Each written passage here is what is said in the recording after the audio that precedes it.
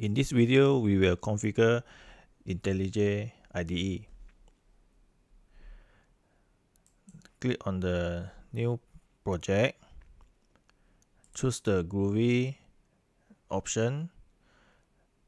The Java SDK is already default selected and the Groovy library is not.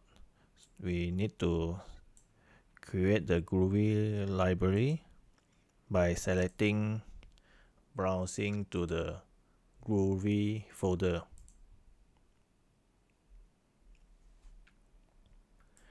Then next,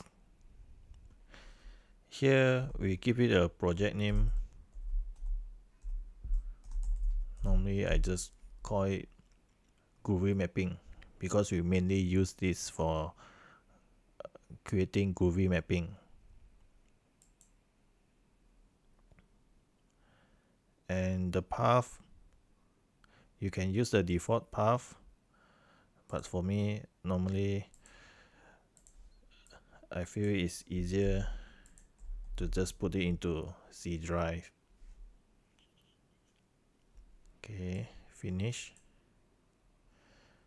It will create the folder. Okay create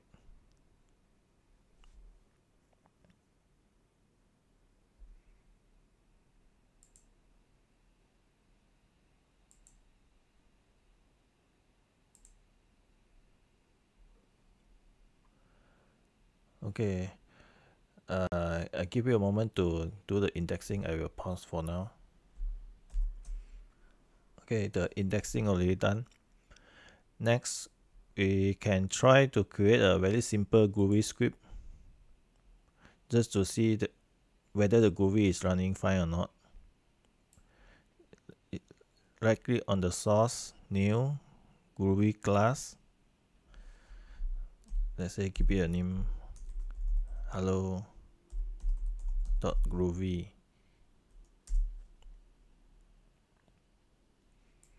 And I don't need the class. I just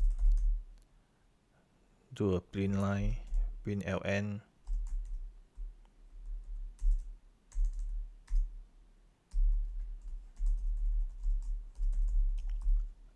uh, hello groovy and to run it.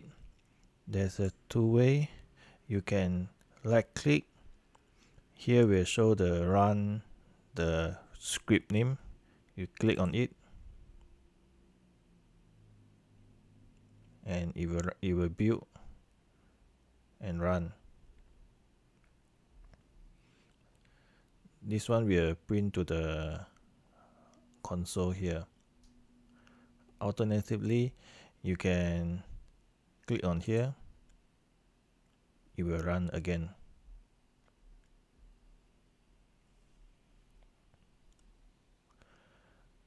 Okay so next we should try the CPI script.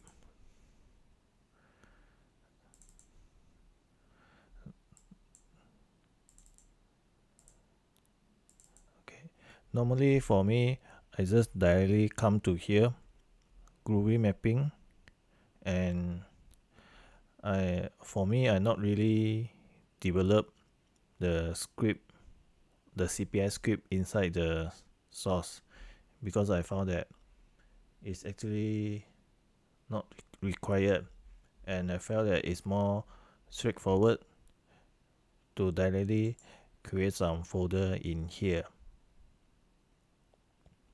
for example let's say this is a CPI package. Just call it uh, package 1 corresponding to the CPI package. And then inside the CPI package there is some some script. Let's call it first script first dot groovy.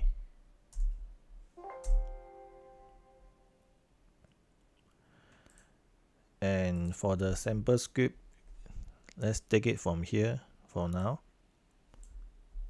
I copy this one.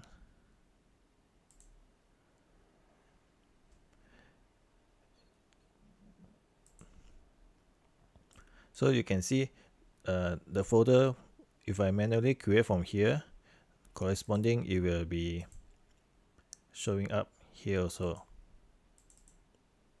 I double click here. Then I can paste it.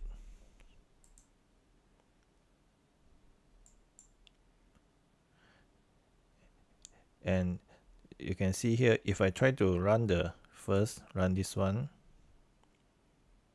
it will throw the error saying that unable to resolve class and this class because it's not referent to any CPI specific library yet.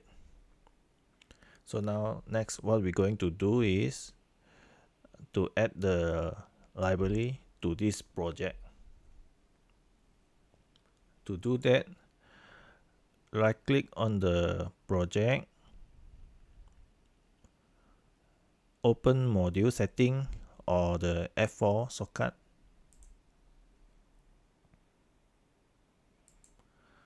Go to the library. The Groovy library already is there. So next we click on the plus sign, choose the Java option, go to library, CPI, just the CPI folder is sufficient. It will auto take all the Java that under this CPI folder. Then click OK and OK. Apply.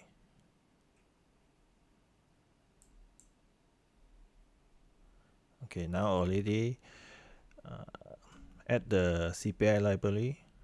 So if we try to run this again,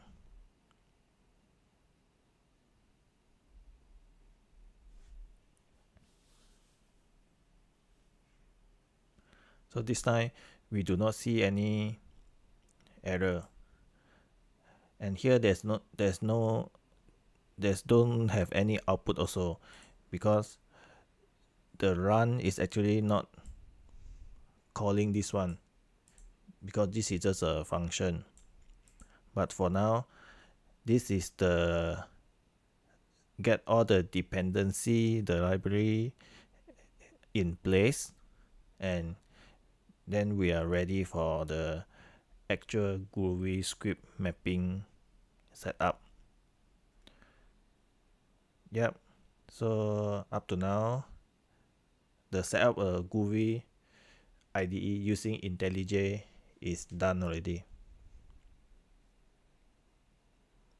Okay, we will end here.